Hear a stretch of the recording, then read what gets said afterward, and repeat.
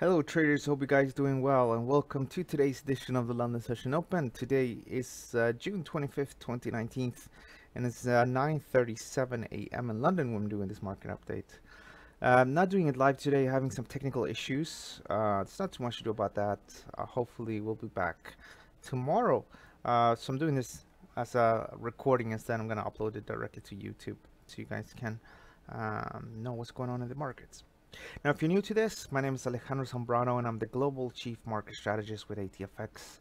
Uh, I work with a team out of Dubai, Hong Kong, mainland China, and also Greece nowadays. So it's quite a covering good many markets, providing analysis to people from all across the world.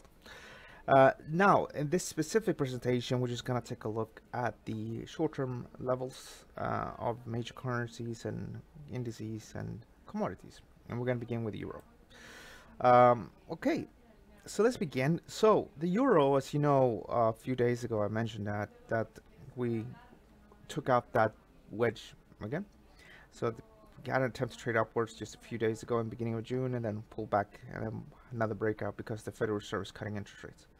Now, I'm not a really big fan of the euro because, again, the most likely what's going to happen in, in, a few months is that, you know, right now maybe the Federal Reserve is going to cut interest rates, but then in a few months, most likely the uh, the ECB is going to cut interest rates, so they will counter uh, any cuts from the uh, Fed.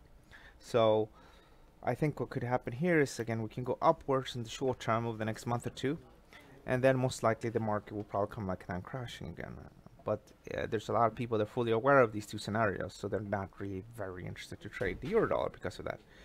Now, technically though, the dollar is losing out for now, and uh, the overall trend is bullish about 12.78. So we may have a little pullback, something like 13.52, and then going upwards. So I'm, I'm gonna maintain a bullish bias for now, but I wouldn't get too excited. Here's the GBP versus the USD, and I'm not very excited here either because of um, uh, you know the Brexit situation. Uh, however, uh, people are selling far more dollars than they're uh, selling GBP right now, and that's why the market's going upwards. So it's trying to trade above this 2764 level, which is level up here. So the market may is probably going to go up a bit, and then a little bit lower, and then probably upwards again to 129. I would argue. Uh, but I wouldn't get too excited. But the short-term trend is bullish of a 126 41. Uh, dollar versus the Japanese yen. So over the last few days, we talked about selling, and I said that uh, up here at uh, this level here, which is uh, 107.65, the market's gonna sell. So we did go all the way up to that level on June 21st. We got, in fact, a perfect little entry here. If you would have shorted here, um, uh, sorry, this was, yeah, on Friday. A little bit of an overshoot of uh, I think about four or five pip. It's not a lot. I think now we can reduce the trend defining level a bit. So obviously this we can leave on here. That was the original entry. And I think, again, probably the market, we can probably reduce the trend defining level a tiny bit, maybe to 10. Actually, just leave it here. Uh, there's no reason to make any major changes here. Um, but that's the original entry. I think realistically, it's even possible to put here 107.96 that would be the stop. Uh, but I don't want to be too close to all the action because I think we can go down to all, all the way down to 105 so you don't want to be shaking out in the beginning of a move uh, which is rather typical.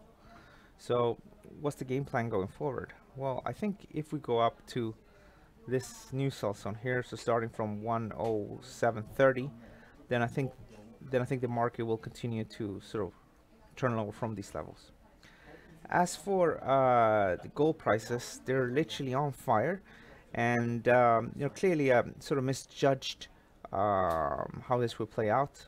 Uh, we're obviously got the first part of the section good, but then afterwards the market just sort of rallies and rallies higher, and it loves to trade upwards in the middle of the night. So some Asian players here buying, uh, because they're very eager to get in, or in case they're short, very eager to get out. Now, I think here going forward, I think we can, you know, sort of forget about this being the level. In the short term, the trend finding level is now here at 1376.68. So that will be the new trend finding level. and really above that level I think the market is going to be bullish so we can easily go down maybe to 1400 maybe 1410 uh, but I think from those levels people are going to look to get involved and I think most people that have been buying here lately they all have their stop losses just down here I would argue. So fib these gives you the different fib levels but prefer my preference again is one uh, 114.10 or something like that maybe here. I would personally like to buy 1400 just leave it down here really. And then we'll see how far it goes. If it's still gonna go to 1600 which I think it will do over the next few weeks and months then it's still gonna be a good reward ratio being bullish from these levels. As for crude oil so crude oil is you know resting up here. Because of the geopolitical tensions not a lot of people uh, want to go short. Um, at the same time though uh, not a lot of people think want to go long. Because I think what's happening here is, is that um, if you look at this from a bigger picture perspective the trend is pretty much bearish. Have a high here high here and high here. So I think I think realistically we should revisit the lows before heading upwards. That would be perfectly fine. Because we don't just go from very bearish to very bullish. That's very seldom that happens. Of course you have the help here. Okay of course you have the help here of uh, uh, you having the help here of um, the situation between uh, the US and Iran which is helping things uh, and that's why we're short-term bullish now if you believe things are going to deteriorate more in the Persian Gulf you think we're going to have some war then obviously you want to hold on to your crude oil long positions. If you're more like me, you think not too much more is going to happen. I mean, it will could happen and we can be trending upwards, but I don't think it's going to be like all our war. And then, as I said over the last few days, you know, maybe up here, probably a good idea to book a bit of profit. If we go revisit the lows here, I think that's what people are going to be buying because I think we need a little pullback. Uh, and then again, if you if you so you keep off, that's what I would do. Keep off in case it goes upwards and that's fine and if it doesn't at least you got some of it and down here I think people are gonna look to reestablish long positions as for the S&P the S&P 500 remains bullish above uh, 2909 and uh, the market did try to trade above the highs here did not really manage to trade much much much higher um, but I think down here uh, support can uh, support uh, pretty much at 29 uh, 32 I think people are gonna buy it's the same area I shared with you guys a few days ago. Uh, the idea was just to buy down here, book profits up here, and I'm gonna stick with this idea. There's no real reason to change this for now. Uh, German DAX. Um, so the idea here, you might remember, we are trading up here on uh, June 19th. Now I said probably down here, people probably gonna try to buy, and then I lifted the buy zone a little bit, and we touched that today, and now we're having a bit of a bullish reaction there, which is what I was hoping for. So no real change to the outlook here. We touched the buy zone. We're moving away from the buy zone. It's too early to say that we bottomed out here, but the trend is bullish above 11,988.